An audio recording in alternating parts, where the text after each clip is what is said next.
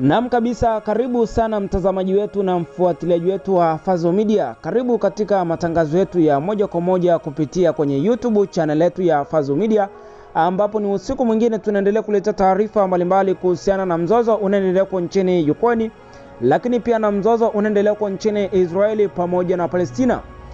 Moja kwa moja tukianzia kwenye mzozo unaendelea kwa nchini Ukraine pamoja na Urusi, ni kwamba Ukraine imeidhinisha mswada wa kuajiri watu jeshini. Wabunge nchini Ukraine wameidhinisha mswada wa kuajiri watu jeshini ambao umezusha hasira baada ya kuondolewa vipengele vilivyoruhusu askari waliohudumu kwa muda mrefu kuachishwa kazi, huku kukabiliwa na shinikizo kutoka kwa maafisa wa jeshi. Wabunge waliondoa kipengele kwenye mswada huo ambao kingewaruhusu askari walioko vitani kwa zaidi ya miezi takribani 36 kurejea nyumbani. Mswada huo unaohitaji kutiwa saini na rais wa Ukraine Volodymyr Zelensky ili kuwa sheria utaongeza adhabu kwa watakaokwepa kuajiriwa jeshini. Ukraine imekuwa na changamoto kwenye uwanja wa mapambano kwa miezi kadhaa, ikidhoofishwa na msaada unaohitajika kwa dharura wa Marekani ambao umezuiwa na bunge la Marekani na uhaba wa askari na silaha. Urusi ilifanya mashambulizi ya angani ya usiku kucha katika maeneo matano ya Ukraine na kuwaua watu wanne katika mji wa kusini wa Mykolaiv. Mashambulizi hayo yaliharibu kabisa kituo muhimu cha umeme karibu na Kyiv ambao ni mji mkuu wa Ukraine. Akizungumza wakati wa ziara yake nchini Lithuania, Rais wa Ukraine Volodymyr Zelensky amehimiza nchi za magharibi kutofumbia macho mashambulizi ya angani ya Urusi na kuipa Ukraine mifumo zaidi ya ulinzi wa anga ili kupambana na vikosi vya jeshi la Urusi ambavyo vimeendeleza mashambulizi makali ya makombora kwenye maeneo mbalimbali ya Ukraine. Lakini pia rais wa Ukraine Volodymyr Zelensky amesema kuwa nchi hiyo imepiga hatua katika utengenezaji wa makombora ya ulinzi yatakayowezesha kupambana na vikosi vya jeshi la Urusi.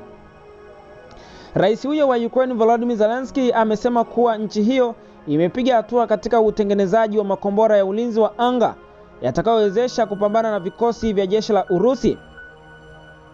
Lakini pia katika ujumbe wake wa kila siku kwa njia ya video, rais huyo wa Ukraine Volodymyr Zelensky alisema kuwa tayari wameanza kutengeneza aina mpya ya makombora na ni muhimu sana kwa jeshi la nchi hiyo kuweza kuyatumia kupata mafanikio. Droni na makombora vinachukuliwa kuwa silaha muhimu zaidi katika vita vya Urusi na Ukraine. Wakati huo watu watatu wameuawa katika mashambulizi ya Urusi kaskazini mashariki mwa mkoa wa Kharkiv nchini Ukraine, ambao ni mkoa ulioko mashariki mwa Ukraine. Mkoa huo ulioko mpakani umekuwa ukilengwa kwa mashambulizi makali ya angani katika wiki za hivi karibuni.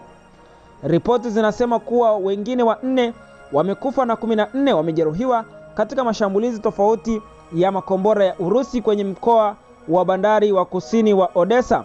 Mpenzi mtazamaji wetu na mfuatiliaji wetu wa Fazo Media, nizidi tukumbusha, kama ndio mara yako ya kwanza kufika kwenye YouTube channel yetu ya Fazo Media, usisahau kubonyeza neno subscribe, kisha unaweza kubonyeza alama ya kengele itakayotokea. Lakini pia rais wa Ukraine Volodymyr Zelensky amesema zaidi ya wanajeshi takribani elfu thelathini na moja wamefariki vitani katika muda wa miaka miwili tangu Urusi ilipoivamia nchi yake ya Ukraine. Rais huyo wa Ukraine Volodymyr Zelensky amesema ushindi wa nchi yake unategemea uungwaji mkono wa nchi za Magharibi. Kiongozi huyo ameeleza matumaini yake kuwa Marekani itaidhinisha kifurushi cha msaada muhimu wa kijeshi kwa Ukraine. Zelensky pia amekiri kuwa wanajeshi zaidi ya elfu thelathini na moja wa Ukraine wameuawa na kuongeza kwamba Urusi inapanga kufanya mashambulizi zaidi katika msimu ujao wa joto. Lakini pia rais huyo wa Ukraine Volodymyr Zelensky ametoa wito kwa nchi za magharibi kuiunga mkono Ukraine kwa dhati ili kuipa nafasi ya ushindi katika kumbukumbu ya miaka miwili ya uvamizi wa vikosi vya jeshi la Urusi. Katika wiki za hivi karibuni, wanajeshi wa Ukraine wamekabiliwa na uhaba wa risasi na makombora baada ya mzozo katika bunge la Marekani kuhusu msaada wa kijeshi wa dola bilioni 60 kwa Ukraine. Lakini pia wiki iliyopita wanajeshi hao walilazimika kuondoka katika mji wa mashariki wa Adivka katika siku ambazo Urusi ilifanya mashambulizi na ni mji ambao uko katika jimbo la Donetsk ambako hali inaripotiwa kuwa mbaya zaidi baada ya mashambulizi makali ya vikosi vya jeshi la Urusi.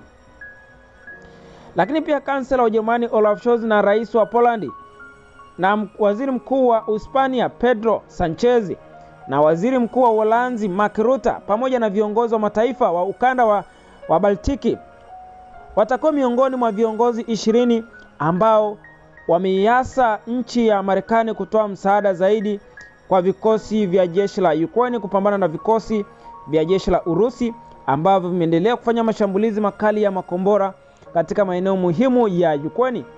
Lakini pia tukielekea kwenye mzozo unaendelea huko nchini Ukraine pamoja na Urusi, ni kwamba wasiwasi umeongezeka kufuatia taarifa kwamba Irani inajiandaa kuishambulia Israeli ili kujibu tukio la maafisa wake wakuu wa jeshi waliouawa na vikosi vya jeshi la Israeli. Miito ya kimataifa imeongezeka na kuzitaka pande zote kutochukua hatua ambazo zitapelekea kutanuka kwa mzozo katika eneo zima la Mashariki ya Kati. Alipotembelea kambi ya jeshi la anga ya Tel Aviv kusini mwa Israeli, Waziri Mkuu wa Israeli Benjamin Netanyahu amesema hii leo kuwa nchi yake iko tayari kukabiliana na kitisho chochote kutoka pande zozote. Israeli imekuwa katika hali ya tahadhari kufuatia uwezekano wa shambulio la kulipiza kisasi baada ya mauaji ya jenerali mkuu na maafisa wengine sita wa Irani katika shambulio la anga kwenye ubalozi mdogo wa nchi hiyo mjini Damascus mnamo Aprili moja. Israeli haikutangaza kuhusika, lakini kiongozi mkuu wa kidini wa Irani Ayatollah Al Khamenei alisema hapo jana kuwa Israeli ni lazima iadhibiwe kwa shambulio hilo.